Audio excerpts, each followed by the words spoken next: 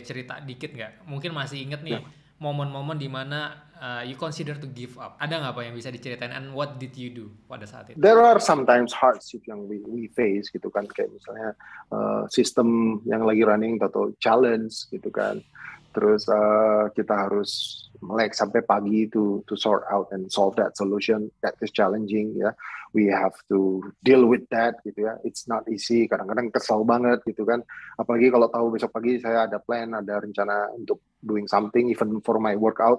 Tapi kalau malamnya harus melek sampai pagi with team in war room try to solve problems, that will ruin my next day gitu kan. Sometimes kesel banget gitu. Terus kayak what the hell gitu ya. Terus uh, from this kind of uh, event ya, I, I I basically use that as a training, as a learning gimana misalnya karena kan the reality udah happen. Nah sekarang uh, it's it hits you like a storm gitu kan. Mm-hmm. Jadi tahu-tahu misalnya ada ya misalnya uh, ada glitch in system atau sistem down gitu. Nah uh, in that kind of a situation kan uh, it's totally out of our control gitu. Kita nggak tahu tiba-tiba misalnya ada partner yang screw up atau ada network issues atau whatever lah yang yang terjadi yang yang out of our control. Gitu. Tapi how we respond to that situation, how we think, how we speak, how we react and how we do itu it's in our control gitu. Jadi kita yang define how should I react gitu. Jadi uh, I always tell my team sih ini bahwa uh, you cannot calm down the storm. Kalau lagi ada storm, lagi ada badai, lu nggak bisa bilang ke stormnya, hey badai berhenti, nggak bisa gitu kan? Nggak bisa. You just it just hits you gitu. Nah tapi I tell my team, but you can calm yourself down in the storm. Jadi how you stay composed, how you respond to the storm is within your control. Mm-hmm. So how do you react to that? Nah, jadi from incidents like that, uh, I use that as an exercise gitu bahwa how to stay poised, composed, and uh, how should I react? How should I make decision? How should I give direction to the team so that we can get out of this uh, situation as soon as possible misalnya gitu. Mm-hmm. So so th- there are this this kind of uh, situations lah gitu kan. Ya yeah, th- there are different hardship I faced gitu. Uh, sometimes I uh, went through it with a good resilience, sometimes I crashed gitu ya. It's part of learning gitu. Intinya kan kalau ada hardship adalah uh, when a hardship hits you gitu ya.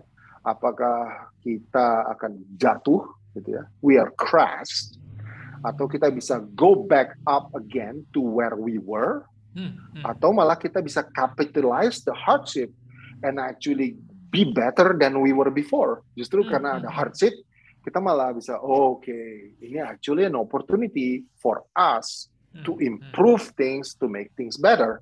Gitu. So misalnya ada ada ada gangguan ada glitches the system sometimes we discover some things yang oh ternyata we didn't configure this correctly gitu. Hmm. atau oh ternyata uh, we need to do this and that. Oh ternyata we need to have a plan B when these things happen. We need to have redundancy.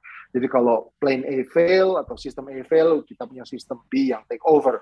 So uh, from incident sometimes it shows us uh, opportunities untuk be better gitu. Hmm, hmm. Makanya jadi kalau ada ada difficulties, uh, it's up to you to choose to ya yeah, beat beaten, got beaten by that hit, atau you just recover and then back to where you were, atau you use that opportunity. Oh right, now we need to set up redundancy atau we need to set up a mechanism so that if it fails it can go back up fast again gitu so so that mentality yang yang yang mesti kita have. Jadi misalnya kalau ada insiden bukan langsung uh, apa Taichi throwing balls bahwa oke okay, ini yang salah tim database ini yang salah tim SRE ini yang salah developer front end di back end.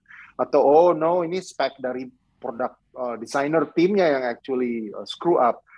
You can spend time doing that gitu ya. Or you can uh, try to uh, stay poised and composed and figure out what is actually the root cause and then use that opportunity to fix things and make things better. Jadi next hmm. time similar incident happen, you are more ready gitu dan bisa jadi mungkin uh, the next incident can actually be bigger than what you are facing now gitu.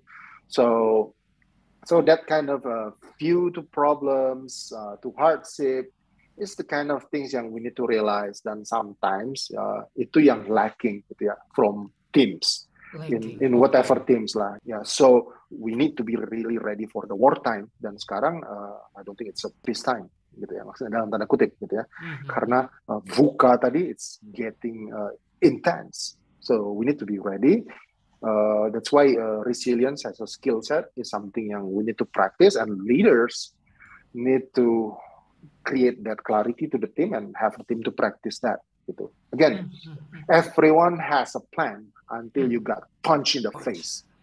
Yeah. And then in real world, you will get punched in the face a lot. So be ready.